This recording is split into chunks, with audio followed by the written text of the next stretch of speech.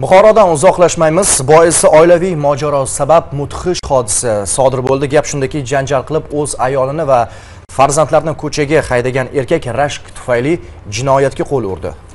Oqibatda esa yaxshilik qilaman degan kimsa jabrlandi. Voqeaning batafsil tafsilotlarini muxbirimiz Madrahim Turdiyev so'zlab beradi. Buxoro shahrida sodir bo'lgan arzimas oilaviy mojaro ketidan sodir bo'lgan yana bir muammo og'ir jinoyat bilan yakun topdi.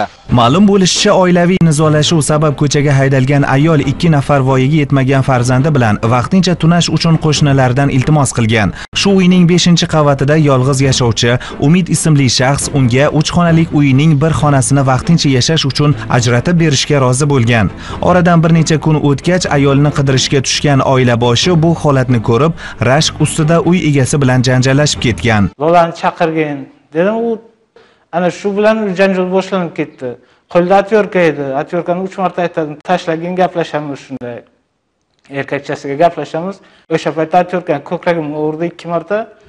Смотрю, стоит мужчина, спросил Лолу. Она к нему вышла, он ее начал избивать, ругать ее, избивать. Я сказал, что ты делаешь? Не на-». И он на меня, меня начал избивать, меня начал оскорблять. В этот момент э, возле двери у меня, возле полки лежа- лежала отвертка. Я ее взял и. Aslida holat bundanda mudhish oqibat odam o'limi bilan yakun topishi ham mumkin edi. Hududiy profilaktika inspektori va mahalla fuqarolar yig'ini raisi o'z mas'uliyatsizliklarini yangi qurilgan uylar kim yashashi va kimga tegishli ekanligi hali noaniq deya xas bo'shlayotganini qanday izohlash mumkin? Bu yangi qurilganligi sababli e, beqaror bu fuqaro yashash yashamasligidan xabarim yo'q edi.